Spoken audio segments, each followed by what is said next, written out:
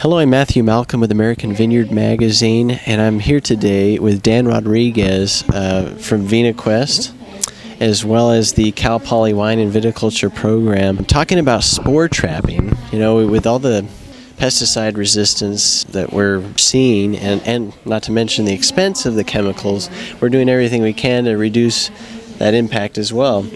And so there's a new technology out there, or technique, called spore trapping that wanted to introduce. So, could you talk a little bit about that? Sure. This is a relatively, I'd say, new technique on on uh, ex- baby uh, expending your field scouting.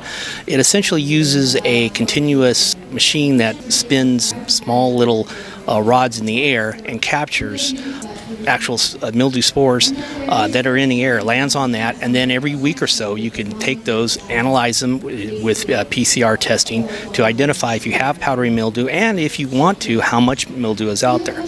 Um, as you start to find this um, preferably uh, by doing this in an extended amount of time, starting from bud break all the way to, to the season, you might, in effect, be able to save several sprays. And we've been seeing that we saved uh, between four and five actual fungicide sprays. Reason? There's no spores out there. No spores. Why? Why do we need to treat?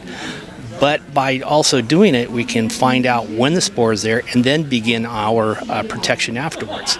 In addition to that, we can also identify the, um, the actual mildew strains to to uh, determine whether or not we have uh, strains that are resistant to some uh, fracs, uh, preferably uh, the DMIs and the FRAC 11s. So on those, if we were to have an, a, a, positive sign that we had those in the field, we might maybe not use those materials and use some other different FRAC numbers to be able to provide pre prevention for powdery mildew.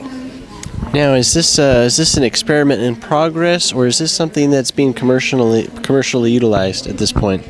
Actually, it was uh, started on some research that was done in the Northwest. Um, and uh, we had a um, I recently did some research on the web to find this out, and it's a, basically a service that we're beginning in Vina, uh, in my, my company VinaQuest.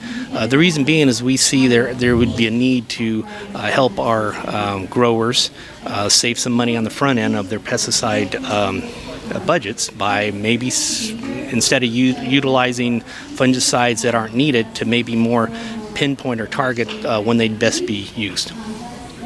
Great. Well, thank you, Dan. Read more about new technology and t- techniques and your pesticide management in American Vineyard Magazine.